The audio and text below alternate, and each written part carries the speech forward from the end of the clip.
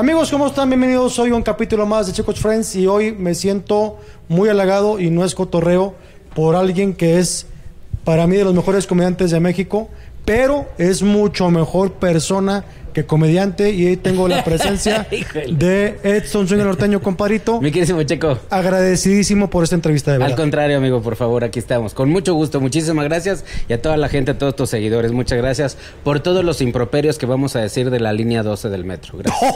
ya, No, no, ya no, no, no, no se crea. No, no, ya son chistes muy caídos. No, no se crea. No, no, no se crea. no. Que, ¿verdad? Sí, este. Es que ahorita no se pueden contar porque dicen que la comedia se convierte. es- La tragedia es comedia pasando el tiempo. ¿Estás de acuerdo con Ya eso? después del novenario, claro. Sí.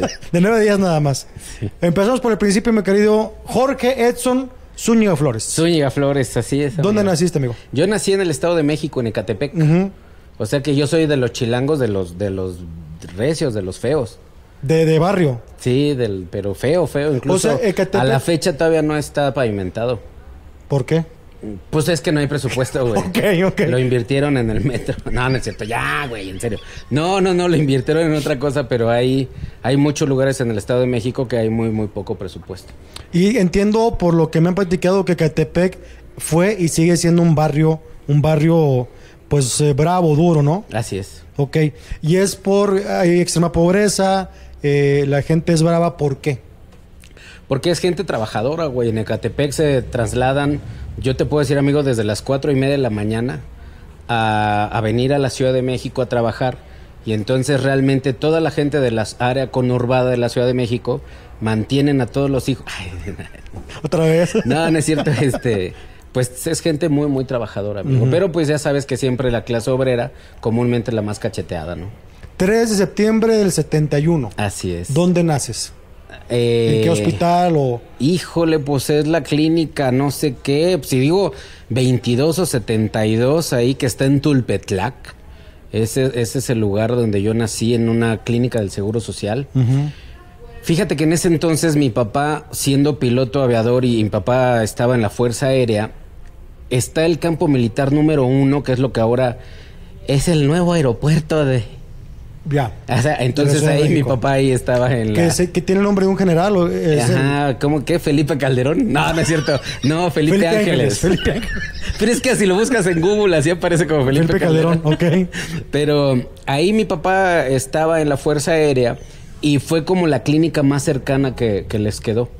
Ahí en Tulpetlac. Por eso, por esa razón yo nací ahí. Tengo entendido que eres, que eres, eh, son tres hijos de tus papás. Somos, éramos cuatro. Cuatro. ok. Gracias a Dios uno ya murió de, de, mm, de azúcar, siempre se me olvida el nombre, de Diabetes. diabetes. Pero ¿por qué gracias Y a Dios? el, el- yo, yo creo que algo tuvo que ver ahí este, eh, el señor, el dueño de TV Azteca, porque mi hermano murió en abonos.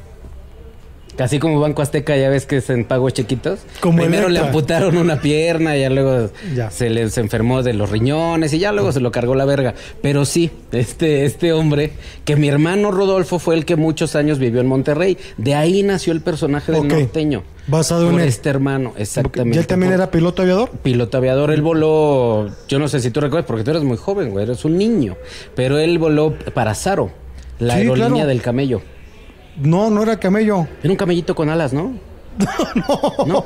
Según yo, Saro era, era un, me parece que un indígena, ¿no? No, ese era Viaxa, güey. Por eso te digo que tú eres muy, muy millennial. Es que yo volé en Saro, güey. Yo tengo, yo soy del 73. Ok.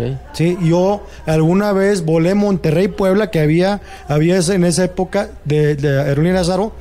Si un, un vuelo te costaba mil pesos en Aeroméxico, aquí te costaba 300. Sí.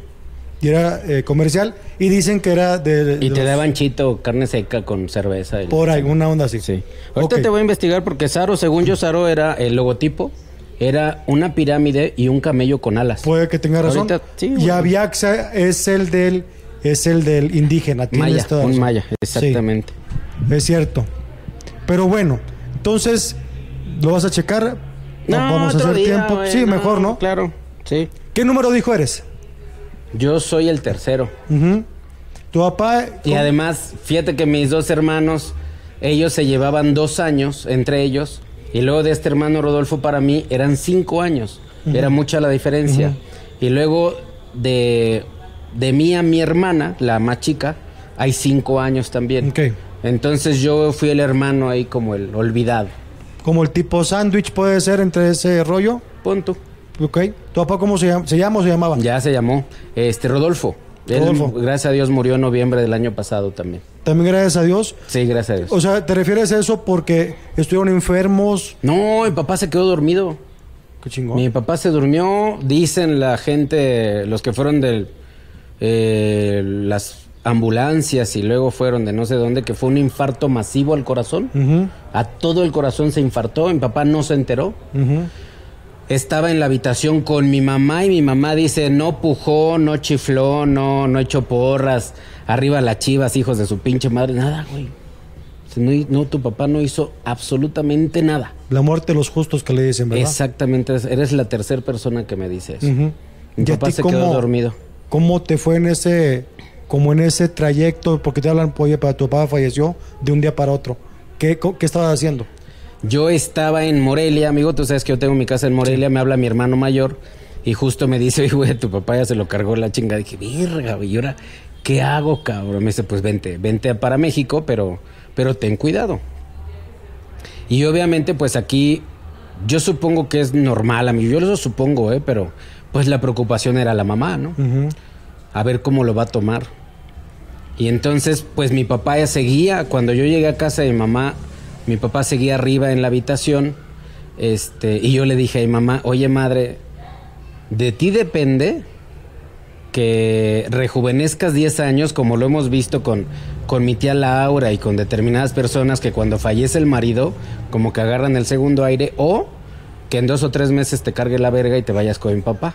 Y me dice mi mamá, eh, dame chance, güey, déjame ver.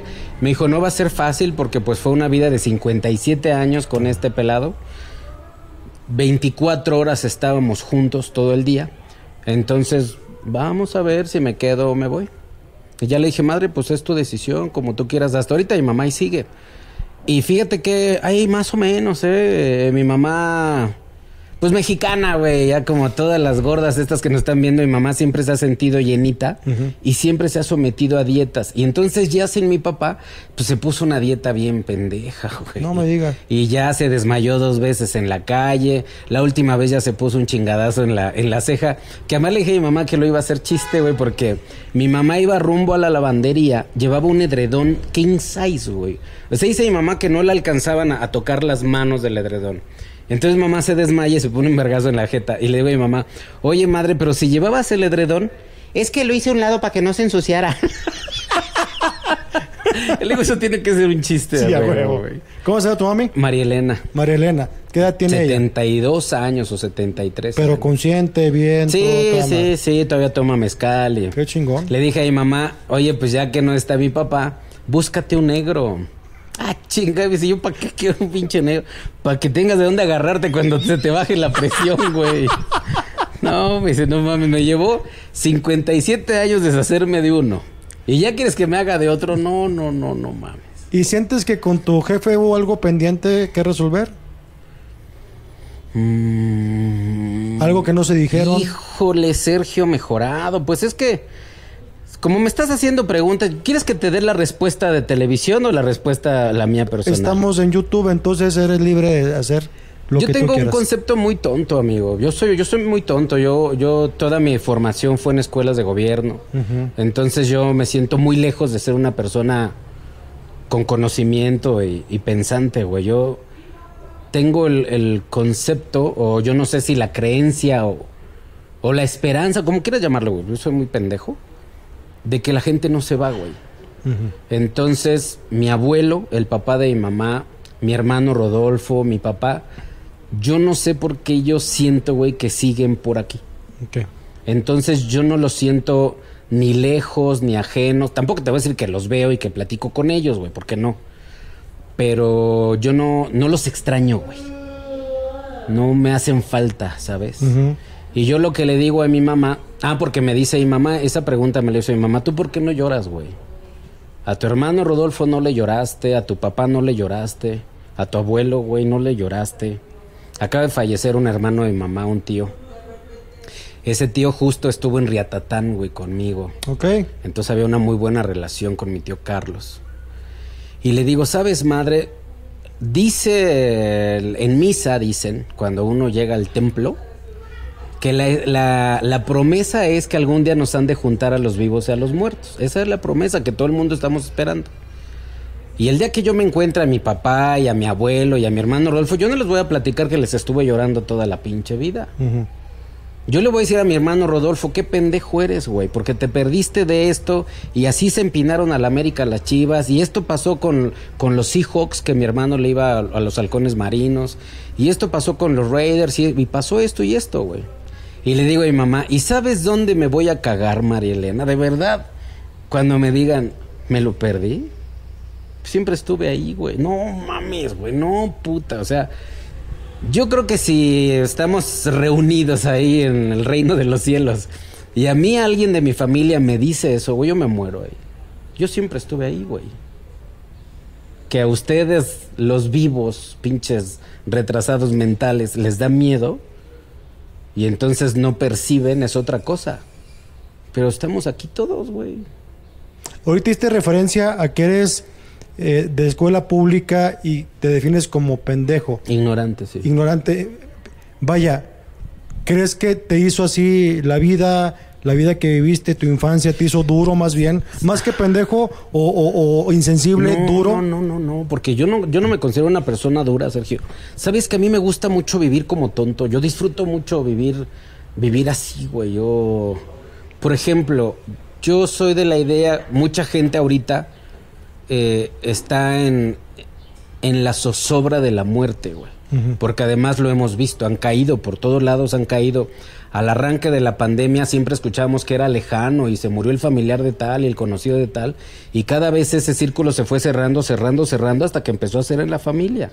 Los que se enfermaron de coronavirus y los que murieron de coronavirus en mi familia.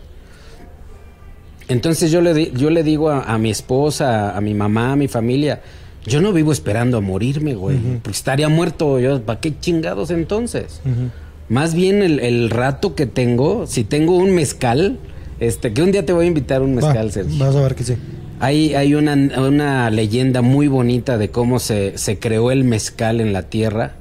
Este, y entonces fue una, una diosa que se llama Mayagüel, que es básicamente el maguey, y, y gracias a ella se produjo el mezcal. Entonces, cuando a mí me dan un mezcal, Sergio, que yo no pago de mi bolsa, yo siempre levanto la copa y digo, gracias Dios a Mayagüel, porque yo no merezco este trago el día de hoy.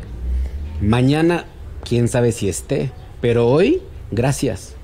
Y ya te, así esta te lo chiquiteas, güey. Pero a mí me gusta vivir así, no esperando o, o en esa zozobra de la muerte, güey. Porque yo sé, muy, sé perfectamente que me voy a morir. ¿Cuándo? No lo sé. Pero yo sé que algún día me he de morir, güey. Entonces, justamente disfrutar del momento. Y si yo el día de mañana me carga el pito, le voy a decir a mi hermano Rodolfo, güey, no mames, estuve con Sergio Mejorado en el Beer Hall y fíjate que estuvo muy cagado este güey. Él sí es de Monterrey y tú viviste allá y la chica de la chica. Pero a mí sí me gusta vivir así. Yo, por ejemplo, la crítica a Andrés Manuel, yo me mesuro mucho, güey, porque de tu señor presidente yo no lo haría mejor que él, güey. Porque yo, yo te lo juro, este Sergio, así te lo jurititito, que si tuviéramos la varita de, de este mago, Merlín. no, Potter, Harry Potter. Harry Potter, Harry Potter. Potter, si desapareciéramos a Andrés Manuel, nada se soluciona, güey. No. El problema no es ese pendejo. Y lo malo es que no queremos entender que todos nosotros somos parte del problema, güey. Por muchas razones y en muchas circunstancias. Entonces el problema no es... Pero es mi, es mi, mi concepción pendeja, Sergio. Entonces no vayan a pensar allá este, que yo le estoy echando porras a nadie. Simplemente yo digo, yo no lo haría mejor que ese señor. Ujú. ¿Me puedes platicar cómo, cómo fue tu infancia? Hijo de su pinche madre, bien cabrón, porque mis dos hermanos mayores, y yo tenía cinco años, el otro tenía 10 y el más grande di- 12. Ujú. Entonces yo siempre fui el ratoncito de laboratorio para este par, güey. Y sí, estos güeyes fueron no malos, pero pues tenían unas fantasías muy, muy, muy grandes, güey. Y como yo era el chiquito, Sopas, cabrón. ¿Qué, Entonces, qué te hacían? Fíjate, en una ocasión mi papá había puesto una escalera muy alta para cambiar un foco en el patio de atrás de la casa. Una, una escalera alta, porque además, amigo, en aquel entonces la escalera alta eran dos polines de madera con maderos atravesados. Una pinche escalera que una persona solo no lo podía cargar. Y este güey lo pone. Y ahí se quedó, la escalera, por lo mismo que estaba muy pesada, ahí se quedó. Y entonces mis hermanos, güey, que te digo que pues, si yo tenía cinco, ellos tenían 10, y si yo tenía 10, ellos tenían 15. Ujú, ujú. ¿Sabes que se subían determinados peldaños de esa escalera y brincaban los, los tendederos de mi mamá? Y e, eso estaban haciendo ellos, güey. Se subían y brincaban los tendederos desde arriba. Y obviamente, pues caías a un área verde, a un jardín. Y entonces ahí llega tu pendejo. ¿Me dejan jugar con ustedes? Y sabes que yo eso no lo voy a olvidar nunca, güey. Que voltearon los dos a, a verse así. ¿Qué? Y entonces me dice uno, es que sabes, güey, que sí, bríncale, pero te vamos a ayudar. Y entonces un cabrón se fue de un lado, así orquestados como orcas, güey. Orcas dispuestos a la disección. Uno de un lado y el otro de otro y jalan el, el tendedero hacia abajo, güey. Ahora sí, pinche pendejo, bríncale, güey. Y entonces me subo, pues chiquillo, güey, dos o tres peldaños. Y a la hora que brinco, fin, güey, sueltan el tendedero y me agarran de aquí, mierda, güey. Qué cabrones. Entonces caí de puro pinche lomo. Al punto que se me salió todo el pinche aire, güey. Que no pude ni llorar. Yo nada más la hacía. Y los otros dos putos estaban igual, pero se cagaban de la risa. Y así estuvimos, güey. Los tres en el suelo, güey. Dos ojetes riéndose y yo queriendo llorar, güey. Y así de esas te puedo contar, güey. Mil, güey. Pero mil, mil, mil, mil. Y, y gracias a eso, Sergio, obviamente gracias a esas vivencias, te vas haciendo cabrón y te vas haciendo cabrón y, y vas buscando cuáles son tus puntos fuertes y cuáles son tus puntos flacos. Y entonces resulta que yo en la secundaria descubro que el humor, güey, haciendo humor, yo empiezo a ganar cosas. Yo no, te digo, yo te puedo traer mis boletas de calificaciones y son de, de cinco y seises, güey, mis boletas. Pero en la secundaria, en la preparatoria, yo conseguía posiblemente un punto más en alguna materia, contando algún chiste o, o, o arremedando, ah, imitando a algún profesor. Entonces ahí en la secundaria yo me empiezo a dar cuenta que la comedia a mí me daba cosas, beneficios personales. Y la comedia es como un músculo. Tú lo empiezas a ejercitar, a ejercitar y se empieza a poner grueso y lo empiezas a lograr y comienzas a perfeccionar el, el show. Y heme aquí. Quiere decir que, de cierta forma, por protección, te haces comediante o empiezas a contar chistes en la secundaria. Por obtener beneficios. Ok, más Yo que más por- bien creo más que por pertenecer. Obtener beneficios, así Y qué beneficio, o sea, aparte de las calificaciones, Por ejemplo, cuando en la prepa yo contaba chistes y, y haces desmadre y cotorreo, porque no necesariamente son chistes, ¿no? Sino la manera en la que cuentas una anécdota, entonces empezaban a acercar las niñas, güey, por darte un ejemplo. Y eso que los güeyes mamados o los que tenían el pito grande no lo lograban. Tú no, ni mamado ni pito no, grande. yo soy pito flan como Adame. Ok. Pero todas las pinches morras están alrededor y quieren un poquito del caramelo que sale Eso. flan, ¿No? Entonces te digo, güey, vas, vas haciendo. Y, y lo malo es que te digo, como es como un como músculo, lo vas perfeccionando y perfeccionando, porque además ya viene algo de familia. La familia y mi papá sí son muy serios, pero la familia y mamá son un carnaval, güey. De verdad que el destapar una cerveza en, casa de mi mamá es fiesta, güey. Fiesta, pero además fiesta de la bonita, güey. De la, de la que se hace el baile, bailan música tropical o, o bailan este banda. Y, y la familia se reúne. Yo tengo muchos recuerdos de eso, güey. De un tío mío que yo quiero mucho. Mi hijo se llama por este tío, José. Él vende mariscos, güey, en un mercado. Y en una Semana Santa, pues mi tío hace su, su ronchita para vender en Semana Santa y resulta que se le quedan las almejas. Entonces nos habla toda la familia, Sergio. Vénganse a casa de mi mamá, mi abuela. Mi abuela vive, tiene 95 años, mi abuela. Vénganse a casa de mi mamá porque les voy a hacer clamatos. Híjole, güey, no mames lo que este señor hizo, güey. Los clamatos más exquisitos que yo en mi vida nunca he probado. Jamás, güey. Exquisitos, deliciosos. Preparados con todo el cariño de la familia. Y luego ahí en ese barrio pasaban los, los que vendían merengues. Y entonces a jugarle los volados. Ese tío José, güey. Los volados de acharola de merengues, güey. Y Con le decía, "Te volados. doy 1500 pesos. Si yo pierdo, güey, tú te llevas 1500 pesos y te largas de aquí. Pero si yo gano, me da la charola de merengues. Hubo ocasiones que le daban los 1500 y hubo ocasiones que se quedaron y decía el señor, pues no me regréseme la charola, ¿no? O sea, quédese los merengues, pero regréseme mi charola. Entonces yo tengo muy buenos recuerdos y la familia y mamá eh, gozan de muy buen sentido del humor. Ok. Esto fue eh, infancia, tu adolescencia, ya secundaria, prepa, ¿cómo te va? Bien, muy bien, porque yo ya ahí ya, ya entendía lo que era la comedia. Por mis hermanos, yo desde muy joven me puse a hacer mucho ejercicio, muy cabrón. Este, practiqué canotaje. Mis papás en la Ciudad de México vivían muy cerca de Cuemanco. Entonces yo practiqué canotaje, artes marciales, ciclismo, desde muy chi- chiquillo, güey. Entonces luego, luego le encontré el trompo, porque ya teniendo, teniendo Cuerpo. fuerza, pues es más fácil tumbar a un cabrón. Entonces la pasé yo en la prepa y en la carrera, güey, yo la pasé muy bien. Muy, muy bien. Fui, fui muy feliz.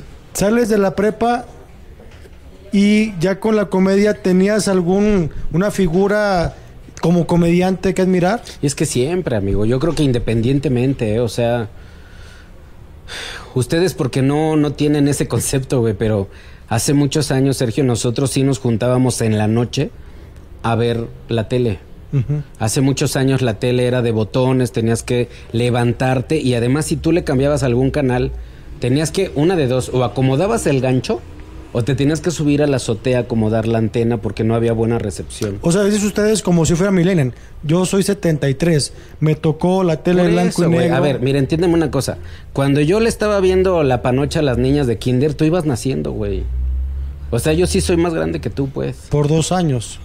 Güey, dos años. O sea, tú a los tres años ya veías panochas de mujeres. Yo nací viendo la panocha de mamá, güey. Ok. Incluso yo nací con la lengua de fuera. No es cierto. Pero Por pero- eso la barba, Pues entonces. exacto. Pero bueno, este, hace mucho tiempo en la tele, güey, tenías que pararte para cambiarle y consumíamos la tele en familia. Y, amigo, hace muchos años, Tintán, güey, Cantinflas. Yo siempre he sido de la idea y, y siempre me han, me han, este, criticado mucho, pero para mí Tintán fue mucho más que Cantinflas. Yo- Pero de acuerdísimo contigo.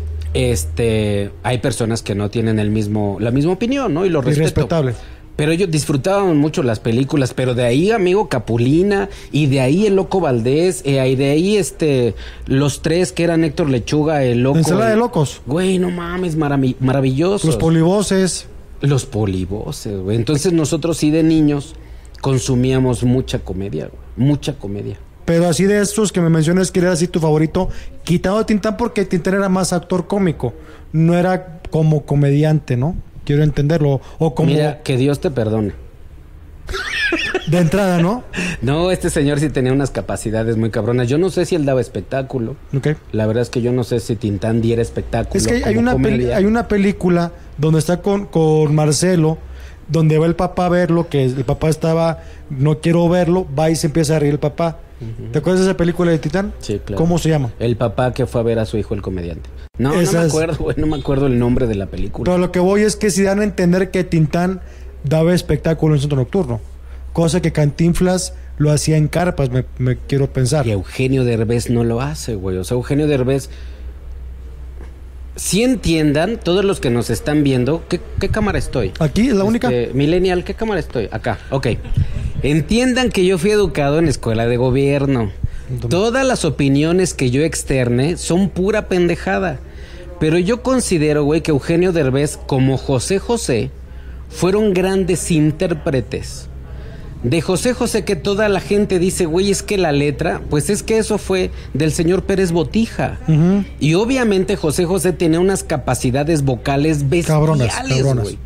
Bueno, Eugenio Derbez en su momento Tiene un equipo de creatividad, güey, de 15 personas. Hasta Paquito Maya hubiera sido buen comediante, güey. Con 15 detrás. O sea, porque Paquito no es buen comediante. No, no, no, no. Yo me refiero a que le falta un poquito de, de staff, de, De gente. Exactamente. De producción. Pero el chavo le echa ganas, ¿eh? Sí. Yo siento muy prendido. no es cierto, amigo. Sí entiendo la Este- parte como... eh, por eso decía actor cómico. O sea, Sí. Derbez es actor cómico. Porque le escriben sus... Pero bromas. Derbez no hace espectáculo. Nunca en la vida, jamás. A, él le da miedo enfrentarse ¿No al según había hecho un monólogo en Broadway? Eso nos dijo, güey. Pues Ah. es como si yo te dijera que al, al, este al dueño del unicornio un día le dije que se fuera a la verga a su oficina. O sea, eso es, eso es un mito. Sí lo hiciste, cabrón. Ese sí lo hiciste. Sí lo hice. Sí, yo estaba ahí. No, ma- Pues es que me estaban presionando, güey. Ah, Es que un día platicando con Edson, a mí hay dos anécdotas que son mis favoritas. La del señor Leal, El señor le mandamos Leal, un saludo. claro. Gente Unicornio Azul que eh, yo le agradezco porque él fue el que nos dio la oportunidad de ser comediantes. Y la del Finito López. Esa está genial. No sé si la platicaste. ¿Nos puedes platicar? Claro. La de Leal. Pero platícala tú, porque estaba bien tomado ese día, güey. ¿Sí? No es cierto. No, tú no tomas. No. Resulta, ahí te va la, mi versión. Resulta ser que tú estás platicando un chiste eh, en esa época. Déjame te platico el, el- el antes. Me lleva Oscar Burgos a la ca- al unicornio. Sí. Este, entonces yo no conocía el unicornio, me lleva Oscar Burgos. Y una vez que llegamos al unicornio me dice, ay Edson, por cierto, al dueño de este lugar no le gustan, hay dos palabras, dos malas palabras, palabras altisonantes, que a este señor no le gustan. Y ya ves que tú eres de hocico muy suelto. Entonces, la verga y chinga tu madre, no las digas, por favor. Ok. Sí. Entonces, el caballero está en su show y un, no me acuerdo qué chiste era. Total, el chiste acababa con verga, ¿no? Total, acaba el show del caballero y le. Oye, Edson, te mandan a hablar de la oficina del señor Leal. Total, el señor Leal, un caballero también. Lo, ¿Qué pasó? ¿Cómo está? Oye, Edson, muy bien, tu show está muy padre. Nada más un favor aquí, en mi lugar, y como te estoy pagando, aquí no digas la palabra. Vienen verga". familias Vienen y familias. vienen matrimonios donde viene la esposa y a mí me da pena con las señoras esas dos palabras. Entonces, por favor, te pido que para mañana que da show no digas la palabra verga, di pichihuila o, o di Este, no sé qué ahorita Te voy a decir qué palabra me dijo el señor Lealdí, ay, porque me la dijo, ¿eh? Él me dijo qué quería que yo dijera. Ahorita me acuerdo, ahorita me acuerdo. Al siguiente día, ahora sí platícala tú porque tú estuviste en el escenario. Pues eh, porque además el escenario de, de ahí del unicornio mide 34 centímetros por 12.7 centímetros. Es muy chiquito, o sea, no, que- yo mido unos 60 y no quepo ahí. Este. ¿El qué? Me dijo el señor que- Leal que dijera la, la qué. Entonces resulta que cuando estoy en, en mi espectáculo, el señor Leal se me presenta enfrente del escenario, a, a ocho pasos de donde yo estoy trabajando, con los brazos cruzados, así viéndome directo. Y este. Y entonces pues, yo estaba haciendo el espectáculo, todos los cabrones, todos, Burgos, Rufo, todos estaban ahí atrás, todos, ahí estabas tú también. ¿Sí? Y entonces pues llegó un momento del chiste. y entonces digo, no, oye, agarra el compadre y le dice al otro compadre, oiga señor Leal, ¿cómo le llama usted a la verga? Le digo. Puta, este señor peló los ojos enormes. ¿Cómo me dijo que le dijera la verga? ¿Cómo me dijo usted que le dijera a la verga, señor Leal? Árgala a la verga a su oficina, que usted déjeme el show es mi pedo y usted tiene que ver los números que sean negros todos. Órale a chingar a su madre, le digo. y es fecha que no va al unicornio el señor Edson Zúñiga. Y este. Y el señor ya- Leal se dio la media vuelta y se fue a su oficina. Y entonces cuando acabó el espectáculo, otra vez me mandó a hablar. Esa vez, güey, Oscar Burgos estaba sacado de. Dijo, güey, me vale madre tú, que me van a correr a mí porque yo te traje a ti. Ahora una cosa es que digas, chinga tu madre, pero al señor Leal le dijiste, sáquese a chingar a su madre a la oficina. Pues es que así va, cabrón. Y yo creo que tú eres de los. ahorita me gustaría hablar de Reatatán un poco, que fue un concepto bien importante de Fernanda Ara- Arau, creo que estoy bien. Pero sí me parece que el personaje te da para ser irreverente cuando en su momento la comedia de los noventas lo que menos tenía era ser irreverente. Pero es que además todos guardaban, no sé por qué, güey. ¿eh? Porque otra cosa, Sergio, en mi casa, en mi mamá toda la vida nos habló el, el cariño a malas palabras. ¿eh? ¿Cómo te quiero, hijo de la chingada? Nos decía mi mamá. Por ejemplo, muy de la familia mi mamá, sabes que si tú los, los acaricias, no soy tu perro, cabrón, a mí no me acaricies. ¿Me quieres hacer algo? Tráeme una pinche caguama fría, cabrón, que esté así, que le escurra el puto hielo. Pero a mí no me acaricies que no soy tu perro. Eso es muy de la familia mi mamá. Hoy a la fecha, ¿eh? ¿Y a qué crees que se deba ese tipo de educación? Es que mi mamá, güey, es de Aguascalientes, es de rancho, es, es muy distinta la vida de rancho a la vida de ciudad. Se hablan muy distinto, güey, se chiflan. Eh, la vida es muy diferente, güey, o sea, vives del campo. o sea, persona recia. No, no, no compras en tiendas, güey, o sea, tú tragas de la tierra. O sea, ¿tú crees que a lo mejor, por lo que hemos platicado un poquito fuera del aire, eres rudo, tosco? Ahí, ahí te va. Nada tiene que ver con lo que estamos hablando, Sí. Sergio. Resulta que mi mamá hace poquito se desmayó en la calle. Y entonces, una vez que revisaron a mi mamá y que vieron que era la cuestión de la dieta y todo, dice el médico, vamos a mandarle a hacer una serie de, de estudios a tu mamá, nada más para descartar. Y obviamente si algo brinca en un estudio, pues nos focalizamos y atendemos a tu mamá de una manera más objetiva. Y a mí se me hizo inteligente. Y le dice el doctor a mi mamá, señora, usted en su vida ha tenido eh, golpes fuertes en la cabeza, que se haya caído, que, se haya, que usted recuerde. Y dice mi mamá, bueno, cuando yo tenía cinco años, íbamos en la calle mi hermano mayor y yo, Carlos, el que falleció. Y entonces a distancia vemos una moneda de 5 pesos. Para ese entonces, amigos, 5 pesos ahorita son ser familiar del Chapo Guzmán o algo así, güey. Entonces dice mi mamá que los dos corrieron y se avientan y mi mamá alcanza a agarrar la moneda de a 5 pesos. Y entonces mi tío agarra una piedra y mocos, güey, en la pura cabeza le zorraja un pedradón Ay, para que mi mamá soltara la moneda. Dice mi mamá que ella no vio la acción, güey. Que ella solamente de repente escuchó "Pip", así. Y haz de cuenta, dice mi mamá, que se le empezó a hacer borroso, borroso, borroso, borroso y ya. Eh, y cuando mi mamá regresó, que mi tío Carlos estaba llorando y le decía, manita, manita, discúlpame, te regalo la moneda, pero no sé qué. Y que mi tío Carlos la, la incorpora y que se regresan a la casa, pero dice mi mamá, yo no podía dar un paso adelante del otro, iba como borracha, güey. Entonces, güey, la vida era, era muy cabrona, güey, hace mucho Y tú sientes que eres medio reflejo de eso, de, Es que de es ser fuerza, rudo, frío, este, vaya, ¿cómo decirte? Sí, poco demostra- demostración de cariño.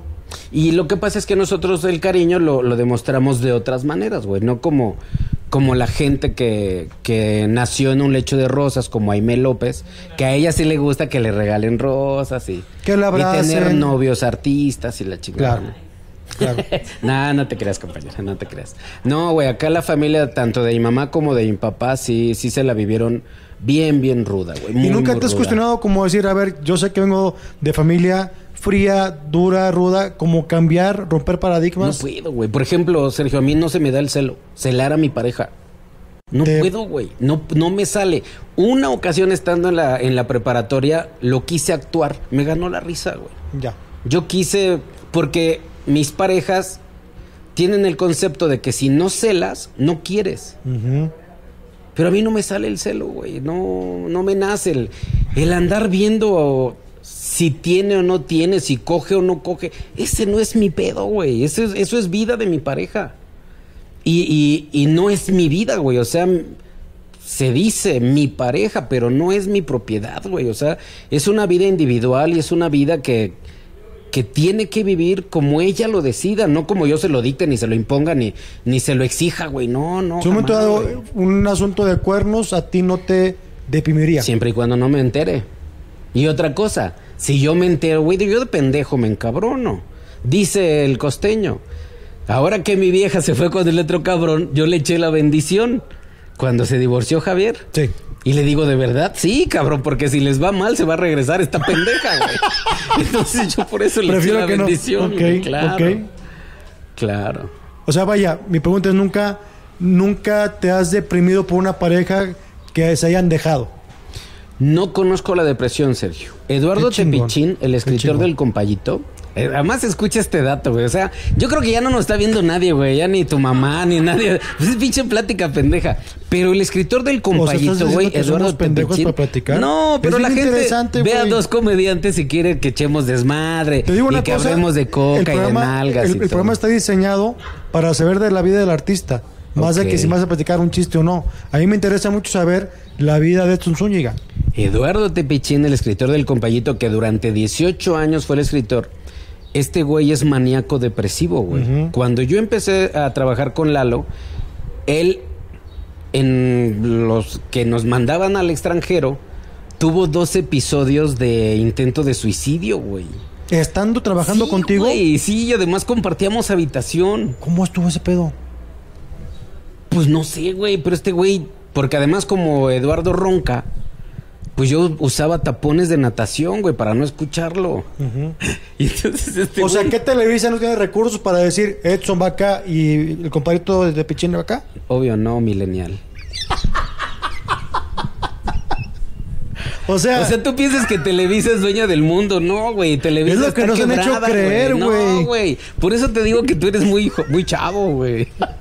No, güey. O muy pendejo y me creo todo, puede ser. Televisa ya, Emilio no es el dueño, él es un socio minoritario. Sí, güey.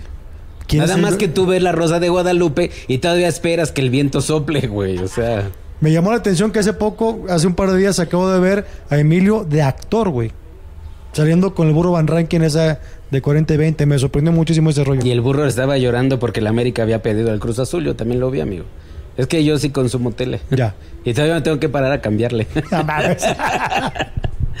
Pero entonces Lalo es maníaco depresivo, o era maníaco depresivo, y resulta que, pues ya en la convivencia de día a día con Lalo, él me dice que toda su vida, güey, fue depresivo o se deprimía. Y que él siendo niño, güey, que los domingos, que él, él sentía, pues no sé, güey, tristeza o y entonces él se ponía a llorar porque en unas horas iba a ser lunes. Y eso a él lo deprimía mucho porque era arrancar como toda la vida de cero. Ay, cabrón.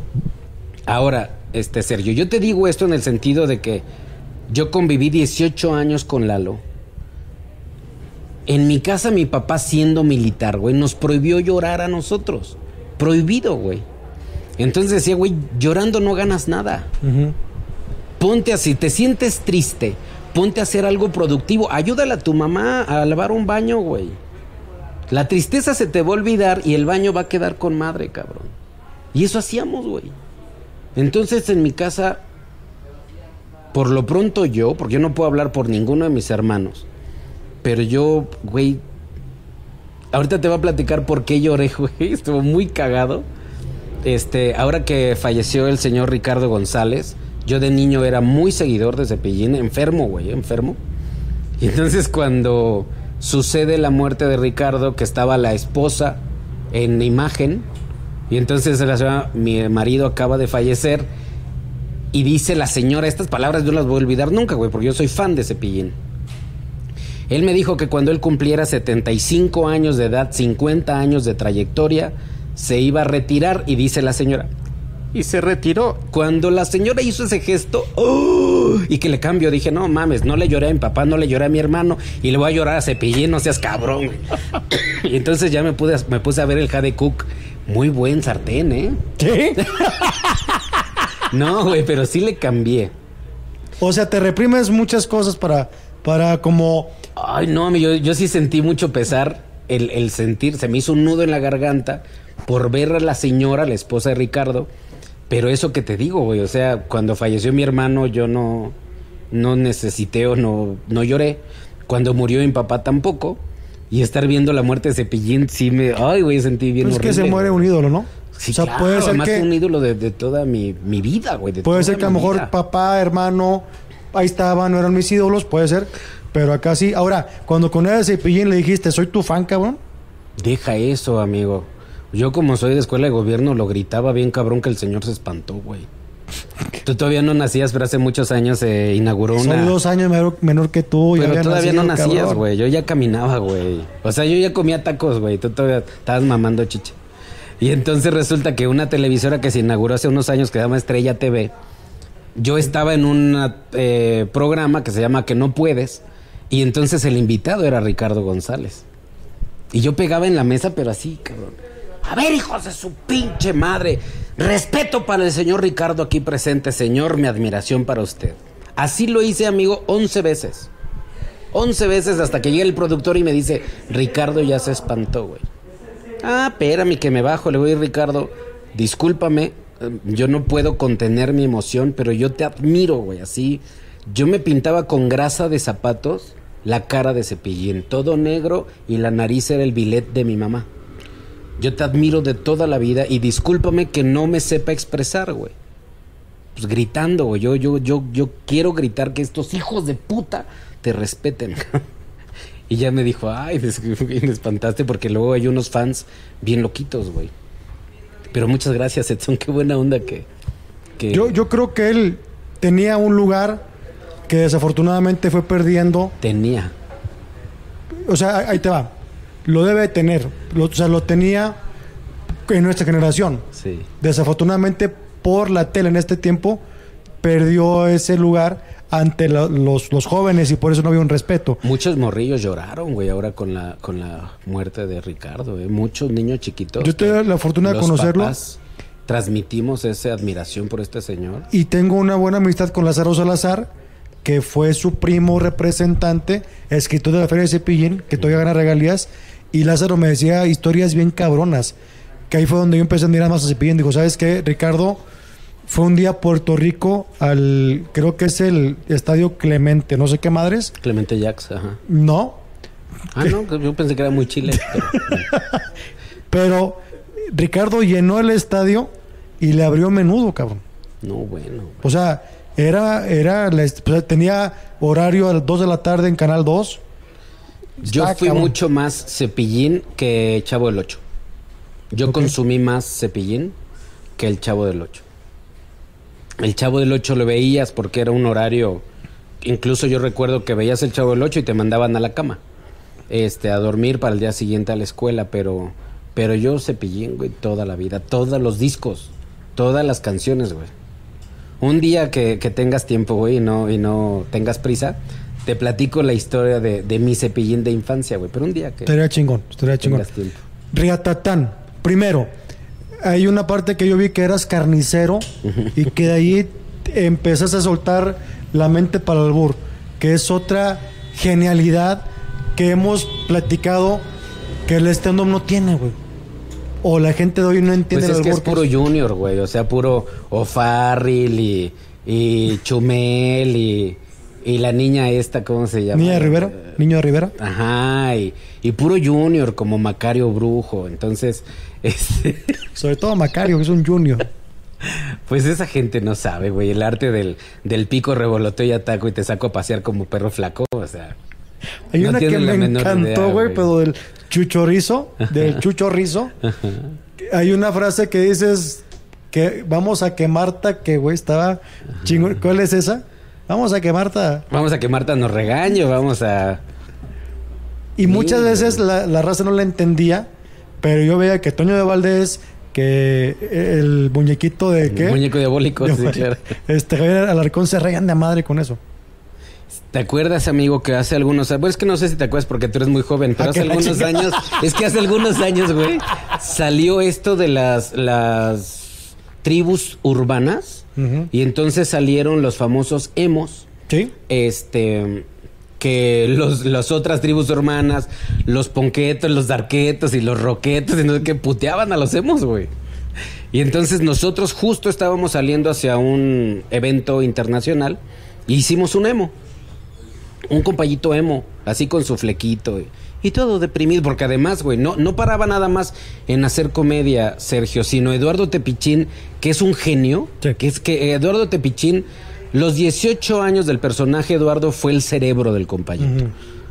Entonces, Eduardo realmente investigaba sobre la tribu emo, tribu urbana. Y entonces le, le- lo bautizamos como Roy. Y entonces ya, buenas noches compañeros, estoy bien triste, estoy súper triste. A veces me tengo que lacerar mi piel para sentirme vivo. Y le ponen un reglazo, güey, al compañito un- con la Gertrudis. Muchas gracias, Toño, porque me siento vivo. Mi nombre es Roy y soy de la tribu, tribu emo. Y bueno, yo estoy aquí, no sé qué, y empiezo a hablar, a hablar. Y dice Toño, ya entendí, pero después de, de tres minutos. Es que es el emo Roy. Y dice Javier Alarcón, ya, güey, ya, ya. Ahí muere, ahí muere. Está bien, güey. Déjalo en emo. Déjalo, eh. déjalo, Roy, compañito. No, no lo combines. Esto, es que eso, eso yo lo disfrutaba mucho, güey. Ok. Que le dabas a esta gente desmenuzado el platillo. Ajá. Y al paso del tiempo, güey, te armaban un plato. Eso era maravilloso, güey. ¿Cuál era Maravilloso. la frase de entrada del chuchorrizo? ¿Te acuerdas? Que era, que era ñero, ¿no? Sí, sí, sí, claro. Un personajazo Es que siempre decía su nombre. Yo soy el. Yo soy Jesús Rizo. Y en la banda me llaman Chucho Rizo. Y, y- y sie- siempre decíamos un, algún eslogan ahí. Para que no se clave. La calle, calla, calla. Ay, ese. acá, acá, acá. Ajá. Chingón ese personaje. El rataflán, güey. El rataflán era un amigo del Chuchorrizo. Ok. Y entonces alguna ocasión que se fueron a Alemania, creo que andábamos en el Mundial de Alemania, entonces se hace un enlace simulado del rataflán, que era una rata, que este güey robaba auto- autopartes. Y se las estaba enviando a Chuchorrizo a Alemania. Chingón, ok. Y entonces en ese, en ese enlace al rataflán le cae la, la policía, que era, era Lalo Tepichín. Ok. Y entonces decía el chichorrizo, mira Javier, la neta corta el pinche enlace, güey, yo a este güey no lo conozco. y ahí dice Javier, a ver, ¿y qué es esto? Y saca la cartera de Toño de Valdés, que el chuchorrizo ya le había dado Ok, 12 ok, bastos, ok, ¿no? ok. Qué chingón. Entonces, a ver, güey, ¿cómo, ¿cómo traes tú la cartera? Este, no, carnal, la, la neta se le cayó, güey, si yo se la venía a entregar, güey. Le estaba cuidando sus viáticos a este güey. Oye, y hay una, hay un video. Porque además, ¿sabes que estuvo lo curioso? Que era, realmente era la cartera de Toño. Y entonces Toño había dejado el saco colgado afuera. Y ahí había dejado la cartera, güey. De ahí se salió. le fue el pedo. De ahí salió, mira, este güey donde deja la cartera con infinidad, allá no me acuerdo qué moneda era, pero euros, güey, infinidad de euros adentro de la cartera colgado afuera, güey. Cabrón. Es que, no manches. Uy, dice Toño, mi cartera, es que sí es mi cartera, güey, ¿dónde la dejé? Hay uno que a mí me, me veo muy seguido ese video. Cuando está el compañito pedo porque había perdido México. Pues cada mundial. Sí, no, pero hay- el especial este porque te está regañando Javier y sabes que ya te vamos a devolver. Y empieza el compañito a llorar, pero te quedas. Y ese ese ese llanto provoca un chingo de risa. Y vemos que todo, todos están riéndose bien cabrón, estaba que Bernard Schuster y ¿Sabes, Sergio, si tú ahorita, a ver, este, cámara, por favor, si me haces un close-up. ¿Sabes que yo siempre, y acabo de hacer hace, hace unas horas, Toño de Valdés está arrancando esto de las redes sociales, Sí. que me dicen que se llama Silver Surfer. Y entonces ahora los rucos están entendiendo las redes sociales y los rucos se están metiendo. Y me dice que es Silver por el cabello canoso como plateado, y surfer porque te metes a la, a la red. A la red. Cabrón, a navegar o sí, a surfear la red. Entonces Toño de Valdés tiene su programa y, y- y le estaba diciendo que yo hoy día que consumo las participaciones del compañito me sudan las manos y ahorita nada más de estar hablando eso, güey, de verdad. Esa emoción, No, güey, no, no, no. ¿Nervio? Sergio. ¿por qué te da ansiedad hablar del compañito? Porque ustedes vieron ya un, un producto terminado. Yo era joven, entonces no lo Muy, muy, muy, muy joven. Y, y detrás de ese producto, güey, puta, había toda la historia, amigo. O sea, cuando el compañito sale a los estadios a cubrir los el clásico regiomontano, el clásico tapatío, el clásico grande, güey, grabábamos, ¿qué, Sergio? O sea, si el partido en la Ciudad de México empezaba a las 7 de la noche, a nosotros nos estaban a las 12 del día, güey. Por cuestiones de las acreditaciones, cuáles van a ser tus posiciones, si vas a cubrir la llegada del equipo, si vas a estar en el vestidor, si vas a estar en la cancha, muchas, muchas cosas, güey. ¿Dónde va a estar tu editor? ¿A qué hora tienes que entregar material? ¿A qué hora hay que estar entregando ya, ya terminado? O sea, muchas cosas. Y luego si el partido se acababa a las 9, que era de 7 a 9, güey, nos daban las once y media y ahí seguíamos. Entonces, eran muchas cosas que se tenían que solventar para que ustedes tuvieran un producto terminado. Y otra cosa, este, Checo, nosotros, mi equipo de trabajo, Fernanda Fuentes, mi productora, que fue la última productora que con nosotros tuvo años, Lalo Tepichín, el, camarógrafo Oscar Hernández, el, editor Chucho, este, el, el caracterizador Juan Manuel Méndez, nunca trabajamos para darle gusto a Televisa, ¿sabes? Nunca, güey. Nosotros siempre nuestra, nuestra misión era sorprender al, al televidente. No creo que lo hayamos logrado siempre. Sin embargo, siempre lo intentamos. Siempre, güey, siempre al televidente. Hubo muchas cosas, muchas ocasiones. Yo por eso me pongo muy nervioso, güey, porque teníamos que sortear grandes conflictos para hacer lo que nosotros queríamos, no lo que ellos. ¿Me puedes dar un ejemplo? ¿Qué hiciste tú en contra? ¿Uno? Uno, uno, no, o dos. ¿Ya ven por qué me embriago? Salud, salud, salud. Porque eso está bien cabrón, porque, oh, insisto, tenemos una idea de que Televisa el mandón y que alguien sea rebelde y reverente es de admirarse. Es que Televisa, y no, no Televisa, güey, porque tampoco se trata de eso, güey. Yo no vengo aquí a hablar mal de una empresa que me ha dado de tragar, pero soy un pinche marrano, güey. Pero no hablamos mal, sino simplemente decir, ellos querían esto y yo hice esto. Esto es así y esto es normal, güey. O sea, yo creo que toda la gente, los tres o cuatro que nos están viendo, que, que tienen familia o que trabajan en una empresa, esto es normal y los empresarios tienen que cuidar su, su inversión, güey, ¿no? No puede ser que de mi familia, de, de hace tres o cuatro generaciones, hicieron determinado eh, riqueza, por llamarlo, y yo lo venga a distribuir en los pobres, güey. Eso no existe, ni va a existir nunca.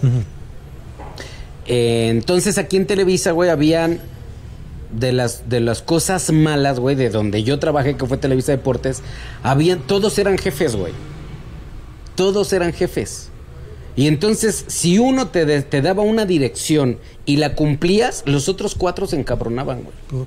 Era una bronca, güey. Nunca nadie estaba contento, güey. Jamás. Jamás. Y entonces tenías que sortear muchas broncas y, y muchos pleitos y, y, muchos intereses para acabar haciendo lo que se me echaran los huevos. ahorita que me dices que te diga una y que yo te digo una, hubo una ocasión que Javier Alarcón de, de Devil Doll me exige que el compayito nunca jamás diga un doble sentido o un albur. Entonces le dije, pues es que es la médula, güey, del personaje, o sea, es la base del personaje. No, güey, ya, ya no, cabrón. Entonces le dije, pues yo no, güey. Porque es como si tú le exigieras a Chabelo que dijera groserías, güey. Claro. Entonces, y, se lo dije, amigo. Tú no eres ninguna autoridad, güey. Como comediante, como, como comentarista te tengo tu lugar bastante rescoldadito allá por allá, güey. Porque de comentarista yo no critico tu chamba porque no lo soy. Pero como comediante me pelas la verga. Así, tranquilo. Entonces, no me puedes a mí. Porque otra cosa, güey. Este mono no es mío, pero tampoco tuyo. Y yo tengo que entregar resultados no a ti, güey. Entonces, si yo llevo a cabo esta dirección que tú estás dando, una dirección fuera de lugar, pues yo me voy a meter en problemas con la persona a quien yo le tengo que entregar resultados. Y eso no va a suceder, güey.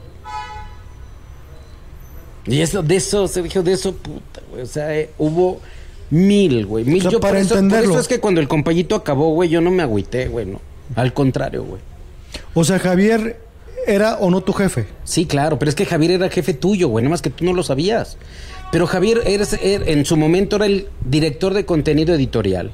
Javier era el jefe de absolutamente todo el mundo. Entonces, si un camarógrafo, si un chico de audio, si uno de iluminación cometía un error, el primero que cagaban era Javier. Por eso Javier tenía mucha presión. Javier no es mala persona, güey. Es, es- es muy buena persona, con muy buena copa, ¿eh? Yo las ocasiones que nos sentamos a echar alcohol, yo lo disfruté mucho porque es de muy buena plática, güey. Es muy buena persona. Pero como jefe estaba sometido a muchas presiones. Igual que tú, Igual que los 18 cualquiera, años güey. Igual del que cualquiera. porque a lo mejor uno puede pensar, ah, pues el, el señor es muy creativo, son cinco minutos de sketches, entonces no hay tanto trabajo, pero hoy que lo está diciendo y lo entendemos, hay un trabajo previo de muchas horas, de mucho entrenamiento, y que no es nada más la escritura, es la producción que hay detrás, la cámara, de esta forma, no te salgas, tú lo platicabas, un día normal del compayito, ¿cómo era? Es decir, entras al aire en 3, 2, 1. Era el brazo, era tu chicharo. Platícanos, por favor. Dos chícharos, amigo. Yo tenía dos audífonos. En uno, el, el izquierdo, porque eso tenías que ser así. Yo, yo ahí sí no entiendo, güey, ¿no? Pero de- durante 18 años yo del lado izquierdo escuchaba a la cabina, la cabina de control, y a todos los comentaristas. Si eran 11 o 11 güeyes, escuchaba Ah, yo aquí. madre. Y en el otro, en el lado derecho, yo escuchaba a Eduardo Tepichín. Alguna ocasión, güey, muy chistoso que el, el señor de audio se equivoca y me, me cambia los, los chícharos. No entendía nada, güey. De verdad, haz de cuenta como si me hubieran estado hablando en japonés. No le entendía nada a nadie. Porque yo aquí tenía a Lalo y acá a comentaristas y a, a cabina. Entonces tenía que ser así, güey. Así se educó mi oído, mi cerebro. Sí. Este. Entonces, yo estaba recargado sobre, sobre la mano izquierda, en el codo, porque yo tenía, en el codo yo tenía la posibilidad de modificar la altura un par de centímetros en el codo o al hombro totalmente. Este, o si no, eh, totalmente extendido el brazo o incluso toda la mano, güey, para, para más alto el, el sillón o donde estuviera. Luego la mano derecha era el compayito y tenía dos chícharos. Y el guion que yo lo tenía en esta mano, güey. El que me daba Lalo Tepichín. Que eran temas a abordar o temas a desarrollar. Entonces yo tenía mi, mi guion, la mano acá arriba. Y había un momento que a mí me decían de cabina, este... eh, ay, ¿qué palabra era? Eh, pues tenía que voltear a la cámara este, me daban una instrucción. Voltea, compayito, que no sé qué, para la cámara 3. Entonces yo tenía que ver el monitor, cuál era la cámara que me estaba tomando para entonces alinear los ojos del compayito.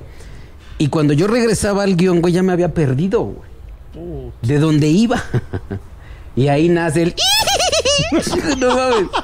Entonces, cuando toda la gente pensaba, este güey la está pasando de poca madre, no, güey. O sea, eran segundos de angustia de dónde chingado estoy. Y esa risa realmente era una muletilla de tiempo para yo tratar de buscar en dónde me había quedado. Qué cabrón. Entonces, güey, cuando todo el mundo pensaba que yo la estaba pasando bomba, lejos estaba, güey. Y luego agárrate que el lunes te decían, oye, el pinche sketch no marcó rating. O sea, todo el esfuerzo para que le te dijeran, hoy no estuviste bien. Y, y sí, claro, pasó, amigo. Incluso sabes que yo creo que nosotros como comediantes, güey, tenemos la capacidad de, de a la hora de, de desarrollar un, un chiste o un tema, haces la voz de la señora, haces la voz del niño, haces la voz del viejito. Hay compañeros, yo siempre he, he tenido el concepto de que Omar Chaparro, él tiene capacidad de hacer muchas voces, güey. Yo te decía de Lalo España. Sí. Este, pero si hay una que a mí no me sale, Sergio, de verdad, es la de un argentino.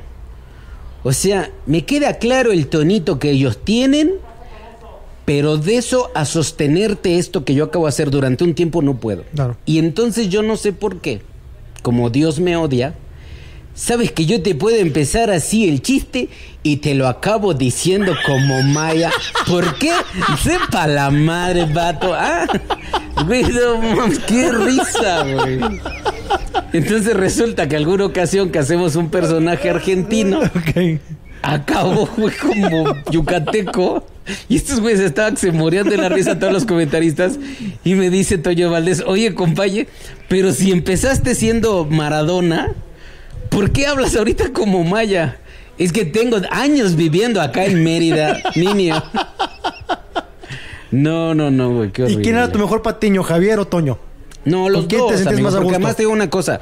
Yo nunca, nunca en la vida, ¿eh? Yo me he sentido el compayito. Yo no soy el compayito, güey. Yo no lo soy. Yo sí- siempre me consideré integrante de un buen equipo de trabajo. Hasta ahí nada más. Entonces, Toño, un encanto de persona. Enrique Bura, con su, con su humor muy ácido. En su momento, Miguel Wurwitz, Ricardo Peláez, Marisol, este, Javier Alarcón, pues era la balanza, güey. El Javier mismo Alarcón. Sague, ¿no? En un, en un momento dado. Qué bueno que yo no sabía que era impresionante, güey, si no, qué No, temor lo, estar lo ahí haces- abajo. no, güey. lo hubieras hecho. Me pica un ojo, güey. No manches, güey. O ya sacaste tres chistes en dos segundos. Iba- Estaría como el, el Edo, ¿no? El no, Pepe, no. No, Pepe. El compadito tuerto. Imagínate, güey. Así dos cosas rápidas para irnos. Riatatán, ¿qué recuerdos te deja? Y nada más, ¿cómo nace el compayito? Primero Riatatán, que es el que te da eh, el norteño. Pues Riatatán viene a ser el arranque de, de la vida de comedia en, en mi vida particular, donde yo no creí, yo, yo, yo creo que hoy día, Sergio, yo no me considero comediante. Eh, hubo muchos compañeros, yo, yo estudié la secundaria con Adrián Uribe, y Adrián Uribe en la secundaria, él sí hizo el taller de teatro. Entonces él toda la vida, él tuvo el, eh, esa inquietud de ser actor, ¿no? Y él estudió y tiene preparación y yo me acuerdo que hubo un momento en la secundaria que hicieron una pastorela donde él era el diablo de la pastorela, pero un diablo gay. Y con un éxito bárbaro, güey, pero de verdad nos moríamos de la risa, en serio. Y entonces esa pastorela la hacían el 10 de mayo y el 16 de septiembre porque realmente Adrián Uribe era muy chistoso, güey.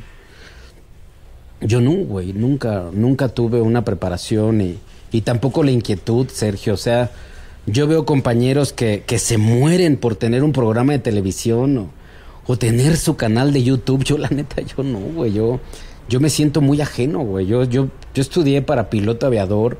Toda mi familia se dedica a la aviación. ¿Sigues volando? Yo sigo volando.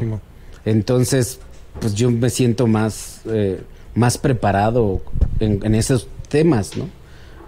Pero así de actor o de comediante yo no. Obviamente, por la educación que yo recibí en casa con mi mamá y con mi papá, pues tienes que responder a una necesidad, Sergio.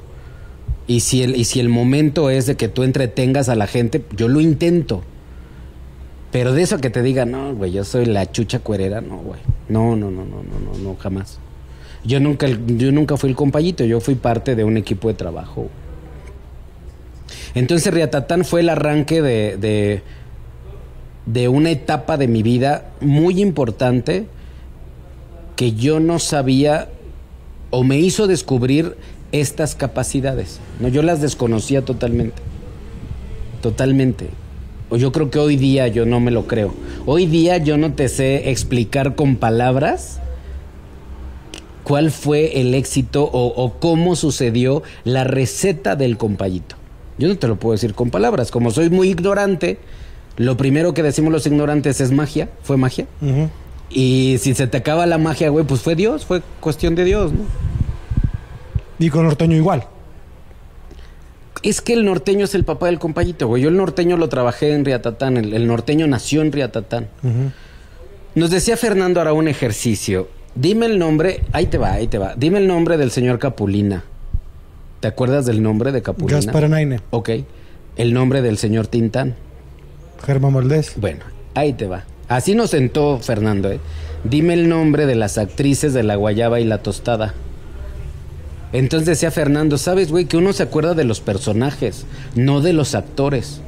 Búsquense un personaje. Ahí nace la Chupitos. Sí. Ahí nace el norteño. Ahí nace el, el limpia parabrisas, Evelio. Descanse. Entonces ahí nacen, en Riatatán, nacen un ensarto de personajes.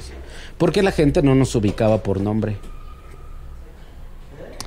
¿Qué le dirías hoy el Edson? Y voy a decirlo porque es la verdad. Exitoso, conocido, gran comediante, papá del compayito que también fue una moda en la televisión, en la comedia deportiva, como quien dice. Este Edson, ¿qué le diría al Edson que va a pensar su primer chiste en Riatatán? Que nada es personal, güey. Cuando uno empieza en la comedia, Sergio, tú te has de acordar porque tú eres muy joven, pero cuando uno empieza en la comedia, ay señoritas, qué guapas y yo tan puto. Bienvenidas. Sí, güey, pues hay que Dos ser damas que honestos. pasaron. Sí, sí, güey. Y lo que pasa es que como ya todo Es está el- en video, güey, todo lo ve mi vieja. Es el Entonces mejor- ya nada falta que me la haga de pedo por esto, güey. No, es el mejor no, piropo que he escuchado en mi vida de cero acoso sexual. No, y otra cosa, amigo. Yo no lo hice por ellas. Me vale una chingada, no son de mi familia. Pero mi vieja, güey. No, mi vieja ve todo, güey. O sea, como hay cámaras, mi vieja es hacker. Y entonces se mete, güey, a las cámaras de los lugares y me dice, y esta pendeja que me estaba vendiendo Amway, no te hagas pendejo. Entonces yo por eso ya por protección Claro, personal claro, yo hago este tipo claro. de cosas. Pero bueno, este, cuando uno es comediante, güey, tú te subes a un escenario y más por lo que yo te dije, Sergio, sin ninguna preparación. Sin ninguna, y todo el mundo te dice, tienes que hacer tabla, súbete a la tarima, súbete a la tarima. Es como vas a aprender, es como, y güey, no mames, o sea, que eso se lo digan a los pinches briagos que están abajo, güey. Estoy aprendiendo, cabrón. No, no, no, había unas personas, unos clientes en el palenque, güey, borrachos armados, güey, no mames. Entonces nada es personal, güey en redes sociales que la gente llega a ser como muy sensible y sensible agresiva, yo no soy suave, güey, con nadie, amigo. Y yo contesto de una manera fuerte, güey, pero fuerte, güey, de verdad, Sergio. Y cuando me los he topado, porque le digo, ve el show, cabrón, y yo te lleno el puto hocico con, con lo que tú quieras tomar, yo te lo lleno, han ido, güey. Y de verdad, Sergio, que nos saludamos de abrazo. Cuando en Twitter nos mentamos la madre, ya en persona es de abrazo y de bienvenido y ojalá te diviertas y señora, muy buena noche. Y, eres una persona normal. Pero pues las redes sociales te dan un anonimato, ¿no? Sí. Y además no tienes a la persona de frente. Y se sueltan, güey. Puta, pobrecito de mi Adame, cómo lo traen de pitoflán, bien cabrón. ¿Y ahora que va a ser diputado? Pero además ya se hizo viral, que anda mentando madres, güey. y que sea, la gente le gusta. A la gente le encanta. Sí, está cabrón, ¿no? Y lo que a mí me preocupa no es Adame, güey. Sino que nosotros nos vayamos por lo chistoso y no realmente por la preparación para un servicio público. Eso sí me preocupa, güey. Si yo no puedo ser comediante, güey, ¿tú crees que va a poner en un puesto público, güey? No manches, o sea. Por último, nos quedó pendiente la anécdota de, de los mejores boxeadores de México. Ah, con Ricardo el Ricardo Finito Finito López. López. ¿Qué pasó con él? Hace muchos años, Sergio, tú todavía no nacías. Estaba yo trabajando en un lugar, en serio, que aquí en, en Insurgentes, en la Ciudad de México, se llamaba Arriba de la Escena. Realmente la escena era un lugar en la planta baja y este bar que presentaba comedia era arriba de la escena, a un lado del gallito de Insurgentes.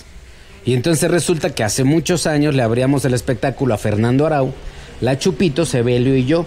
Cada uno de nosotros desarrollábamos 10 minutos para entonces Fernando Arau hacer su espectáculo de una hora y media o dos horas.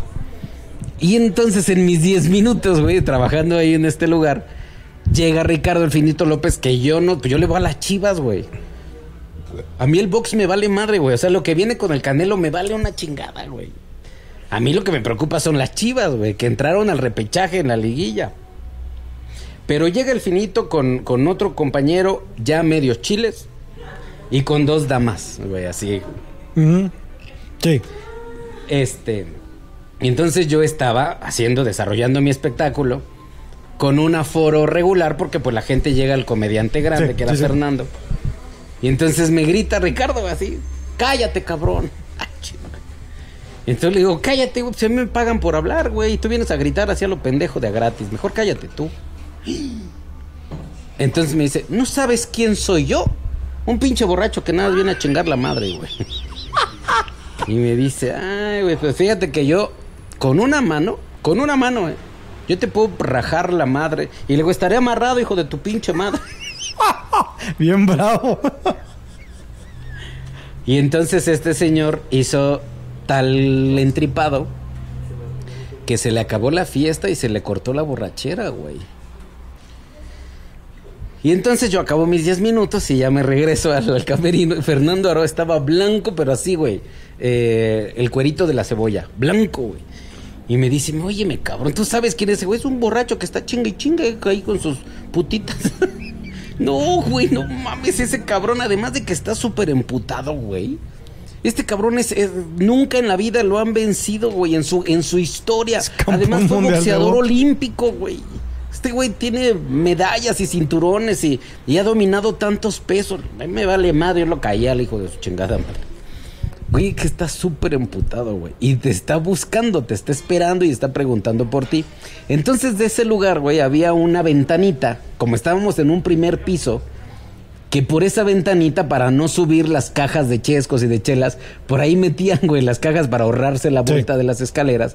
Por ahí me sacaron, güey. Me agarraron dos cabrones y me dejaron caer a la planta baja y me aventaron mi pinche caja del sombrero y la mochila, güey. Ya, güey. Pues yo me fui a mi casa. a las 2 de la mañana me fui a mi casa. Y a la vuelta del tiempo, güey, en, el, en las Olimpiadas de Grecia, va Ricardo El Finito López comentando el box olímpico. Y en cuanto me topa, me dice, ¿te acuerdas de mí? Le digo, claro, güey, arriba de la escena. Me tuvieron que soltar por una ventanita porque te iba a partir la madre. Puta, Ese se cagó de la risa. No mames, qué pendejo güey. No, yo ya te iba a reventar la madre, güey. Me tuvieron que sacar entre cuatro cabrones, me echaron para afuera. No, estuvo cagadísimo, güey. Cagadísimo, güey. Amigo, te admiro muchísimo, te quiero más y ojalá, ojalá no, que haya mucho norteño para muchos años. A ver qué dice la gente. Ojalá que sí, pero pues vienen las nuevas generaciones empujando. A mí eso me lo enseñó Jorge Falcón. Conforme tú vayas creciendo como comediante, a mí me vas a, a obligar a ser mejor comediante para evitar que me pases. Entonces cuídate, Edson. Eso me lo dijo Jorge Falcón. No se me va a olvidar nunca, güey. Nunca. Muchas gracias, amigo. Muchas gracias por la invitación. Muchas gracias por tu tiempo. Y aquí estamos. Muchas gracias a las cuatro personas que están aquí. Señora, la mamá de Mi Sergio. mamá sí me ve. Un saludo. Mi mamá no nos ve porque no entiende ni madre de la, de la tecnología. Pero bueno, un saludo. ¿Dónde te seguimos? Eh, en Twitter, arroba Edson Zúñiga con N, arroba Edson Zúñiga, el Twitter. Y el Instagram y el Facebook, que yo no manejo, lo maneja Aldo López, entonces no lo maneja nadie. Ok. Es eh, el norteño guion bajo oficial. Pues es que la última es el de- del 2015. La última publicación. Sí, güey, en el Facebook. Y estaban anunciando a Madonna como debutante. Y mi nacimiento. Sí, borderline. Amigo, muchas gracias. Al contrario. Muchas gracias. por Señores, esta fue la presencia de Edson el Norteño. Muchas gracias, cuídense. Y hasta Estamos en. Beer Hall. Vengan cierto, aquí a Beer Hall. Beer Hall. Vengan aquí a Beer Hall. Gracias a, gracias a. Beer Hall, que es la cuna del stand-up en México. Vean, vengan aquí, Puebla y Sonora, en la Ciudad de México, para que vean grandes comediantes de hoy, de ayer y de siempre. Y de siempre. Y vienen mujeres muy guapas. Lástima que yo sea puto. Gracias. Hasta luego.